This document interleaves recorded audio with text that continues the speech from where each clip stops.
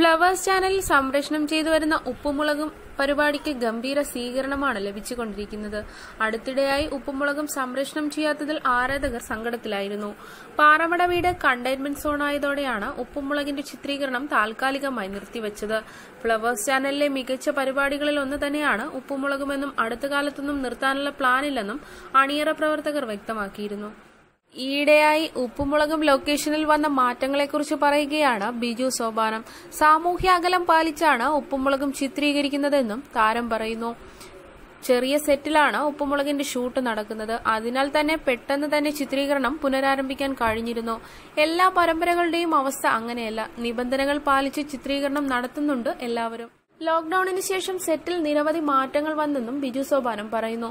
സ്വന്തം വാഹനങ്ങളിലാണ് മിക്കുള്ളവരും സെറ്റിലേക്ക് വരുന്നത്. മാസ്കും സാനിറ്റൈസറും ഗ്ലൗസും ഒക്കെ എല്ലാവരും ഉപയോഗിക്കുന്നുമുണ്ട്. അതുപോലെ തന്നെ എല്ലാ സുരക്ഷയും പാലിച്ചാണ് ചിത്രീകരണമെന്ന് ഉറപ്പാക്കാനായി ലൊക്കേഷനിൽ സേഫ്റ്റി ഓഫീസറുമുണ്ട്. മാസ്ക് അഭിനയിക്കുമ്പോൾ മാത്രമാണ് ഊരുന്നത്. സാമൂഹ്യ അകലവും മാസ്കും ഉപയോഗവുമൊക്കെയായി സെറ്റിൽ മുഴുവൻ മാറ്റമാണ്. പഴയതുപോലുള്ള തമാശ പറച്ചിലും കളിച്ചിരിയുമൊക്കെ കുറഞ്ഞുവെന്നും ബിജു സോപാനം പറയുന്നു.